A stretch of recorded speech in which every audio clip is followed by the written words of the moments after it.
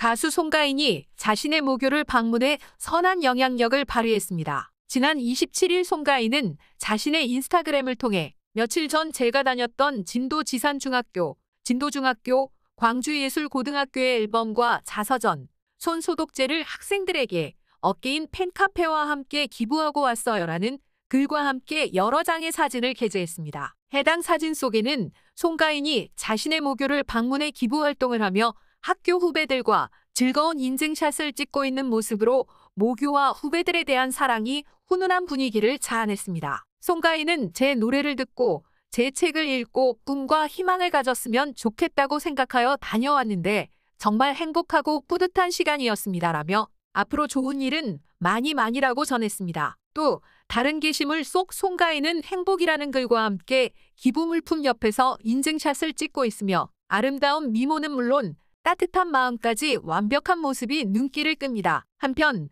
송가인은 현재 KBS ETV 트롯 매직 유랑단에 출연 중입니다.